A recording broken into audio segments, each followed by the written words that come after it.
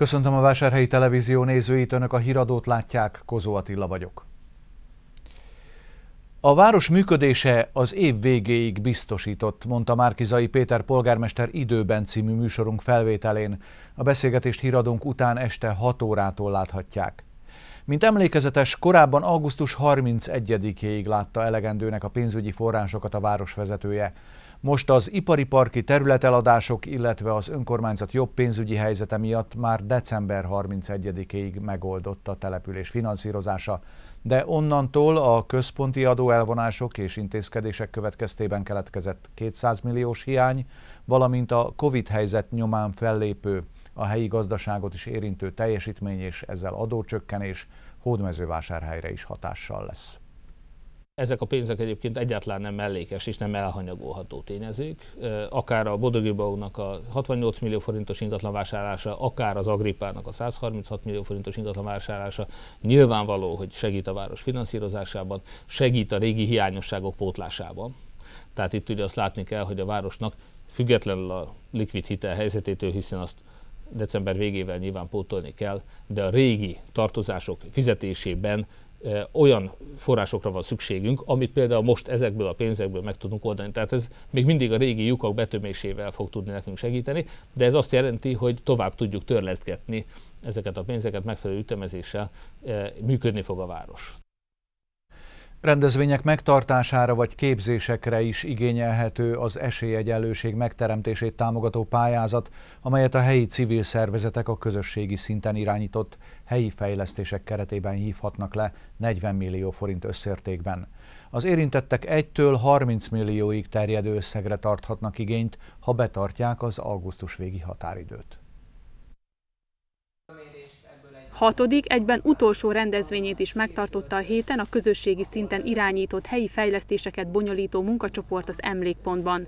A civil szervezetek több célterület után most az esélyegyenlőség megteremtésére kaphatnak anyagi támogatást bármi nemű rendezvény megtartására, ami erre a problémára fölhívja a figyelmet, olyan képzésekre, amely az adott civil szervezet munkatársait segítheti ennek a munkának az elvégzésében, esetlegesen az új tagok toborzásának módszeréről, továbbképzések, különböző táborok, bármi, amit el tudunk képzelni, ebben a pályázatban megvalósítható, nem szűkítettük le szándékosan ezeknek a körét. Erre a célra 40 millió forint áll a civil szervezetek rendelkezésére. Az érintettek 1-től 30 millió forintig terjedő összegre pályázhatnak egészen a hónap végéig. Az ehhez szükséges dokumentumok az önkormányzat honlapjáról a CLLD mozaik szó beírásával könnyen elérhetők. A pályázatot papíralapon kell benyújtani első körben hozzánk az önkormányzathoz. Ennek az határideje augusztus 31-e.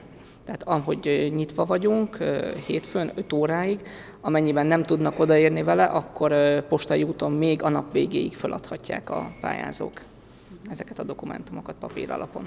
A tapasztalatok arról tanúskodnak, hogy a személyes ügyfélfogadás alkalmával a civil szervezetek számos kérdésre választ kaphatnak, amelyek nagyban hozzájárulnak a sikeres pályázáshoz.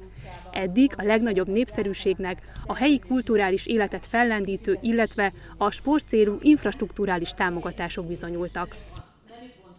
Bár két nappal rövidebb volt, de ez nem vont le semmit az idei zenetábor értékéből hiszen a megfeszített munka meghozta eredményét, és a tervezett valamennyi hangszeres és énekes produkció összeállt. Erről az érdeklődők maguk is meggyőződhettek a 28. augusztusi zenei napok záró koncertjén az Unitárius templomban, ahol az összes növendék megcsillogtatta tehetségét. Az ütős szekcióba tartozók is a közönség elé álltak az idei augusztusi zenei napok záró koncertjén az Unitárius templomban. A tábor ugyanis a kezdetekhez képest már nem csak a fúvósok számára nyújt tanulási lehetőséget, hanem a legkülönbözőbb hangszereken játszók is csiszolhatják itt nyaranta tudásukat pedig a mostani találkozó két nappal rövidebb lett a vírushelyzet miatt, ám ez a hatékonyságot nem befolyásolta. Én arra számítottam, hogy nem mindenki lesz kész, de valahogy a gyerekek érezték, hogy ez rövidebb lesz, és talán még jobban fölkészülve jöttek, mint szoktak. És így aztán tényleg nagyon flottul ment minden, nagyon jók a növendékkoncertek. Most minden este volt koncert, az is egy kicsit lehet, hogy a közönségnek is fárasztó volt, de ezt se éreztük. Tehát nagyjából ugyanolyan látogatottsága volt a hangversenyeknek, mint ami minden évben szokott lenni. Úgyhogy nagyon meg vagyunk elég elégedve. A hatnapos táborban szoros volt a menetrend, ugyanis az egész napos oktatást esténként koncertek követték. Ki hogyan sajátította el a tanultakat, a záró hangversenyen derült ki, ahol a diákok előadhatták egyéni és kamara produkciójukat is. Arra törekszünk, hogy az utolsó, az utolsó napon az a legreprezentatívabb legyen, tehát hogy lehetőleg mindenféle hangszerből legyen, jelenjen meg, minden hangszer, kurzus volt, meg hát az ének is természetesen, minden jelenjen meg, és azon kívül hát ha lehet, akkor a legjobb képviselőivel, tehát a legjobb produkcióval. Úgyhogy ennek a koncertnek mindig nagyon jónak kell lenni. Még be sem fejeződött az idei tábor, de a szervezők már a következőre készülnek, amelynek már a pontos időpontja is megvan. Az augusztusi zenei napok jövőre július utolsó napján kezdődnek. Hét nappal a felújított selfie pont megérkezését követően augusztus 20-án éjjel vidékről érkező fiatalok megrongálták, pontosabban addig ütötték a vásárhelyi selfie pont szívalakját, míg az meg nem adta magát, és a fém tartó szerkezetből kiszakadva a földre nem dőlt, írja közösségi oldalán a BFMK. Hozzáteszik, abban a pillanatban érkeztek meg a rendőrök, amikor mindez megtörtént, így azonnal elkapták az elkövetőket, illetve videókamerák is rögzítették az esetet. A szívben és a fémszerkezetben komolyabb kár keletkezett, melynek javítását az elkövetkező hetekben orvosolja a művelődési központ. A jövő bajnokai program keretében tartott előadást Kovács Ágnes olimpiai és világbajnok úszó, a Hódmezővásárhelyi Gyarmati Dezső sportuszodában a kezdeményezésben résztvevő fiatalok motivációt meríthettek a sikeres sportoló történeteiből, aki nagy hangsúlyt fektetett a hosszú és rövid távú célok kitűzésére. A jövő bajnokai programot még 2013-ban indította a Magyar Úszó Szövetség. A kezdeményezés keretein belül hét regionális központot határoztak meg, melyek közül az egyik hódmezővásárhely. Most a programban résztvevő fiatal tehetségeknek tartott interaktív előadást Kovács Ágnes olimpiai bajnok úszó. Az a jó hírem, hogy szabad, érvényes hibázni, és mindenki hibázik, és ezzel nincs baj. Azzal van a baj, hogy ebből te nem akarsz tanulni. Mert akkor az fog történni, hogy ez a hiba folytonosan ismétlődni fog. Kovács Ágnes, aki a 2000-es Szidiben megrendezett olimpiai játékokon szerzett aranyérmet, előadásában főként a sport lelki hátteréről beszélt.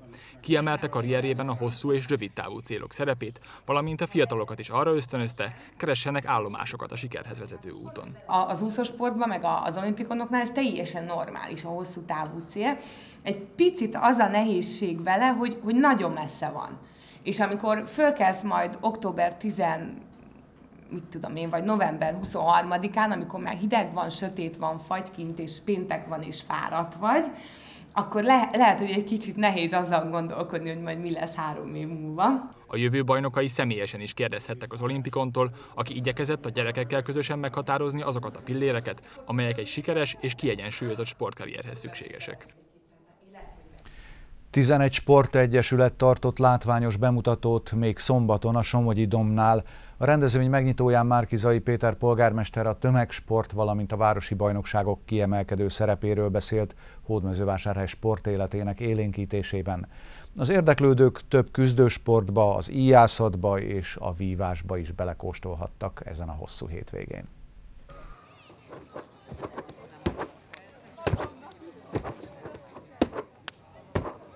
A sportolásé volt a főszerep hétvégén a hódmezővásárhelyi Somogyi Domnál. A szövetségek tehetséges versenyzőit látva sokan kaptak kedvet a mozgáshoz, legyen szó akár küzdő, akár ügyességi sportágról. A boxklub edzői is sok küzdőszellemű fiatalt vezettek be az ökölvívás rejtelmeibe. Általában a box az a szegények sportja, de nagyon egyenes sport, face to face, tehát szemtől szembe. Én kicsit az élethez tudnám hasonlítani a bunyót. Tehát ez egy egyenes, ez egy őszinte, tehát ott az ember csak saját magára számolhat. Akik kedvet kaptak a sportoláshoz, ki is próbálhatták a különböző mozgásfajtákat. Az egyesületek a kezdő és a már tapasztaltabb jelentkezőket is szívesen látták. Inkább az általánosabb részeket próbáljuk bemutatni a sportágunknak. Vannak azért ügyesebb tanítványok, az övszínekkel látszik, hogy vannak magasabb övesek, alacsonyabb övesek. Kezdő szinten is ki lehet próbálni, illetve magasabb övfokozaton is, hogy ki mit tud csinálni. A Vívó Szövetség is kilátogatott a hétvégi programra. Náluk most a legfiatalabbak is veszélytelen körülmények között ismerkedhettek meg a három fegyvernemmel, a törrel, a karddal és a párbajtőrrel. Ez egy technikai, taktikai sport, tehát úgy is szoktuk mondani, hogy a matematika meg a balett keveréke, tehát kicsit számolgatni kell, meg kicsit jó kell tudni mozogni, de igazából az a nagy dolog, mikor be tudom csapni a másikat. A rendezvény megnyitóján Márkizai Péter polgármester a tömegsport, valamint a városi bajnokságok kiemelkedő szerepéről beszélt Hódmezővásárhely sportéletének élénkítésében. Ezt szolgálta a hétvégén megrendezett bemutató is, amelynek keretében remélhetően sokan kaptak kedvet egy új, egészséges hobbihoz. Kedves nézőink, Önök a Vásárhelyi Televízió híradóját látták hírműsorral legközelebb, holnap este fél hatkor jelentkezünk.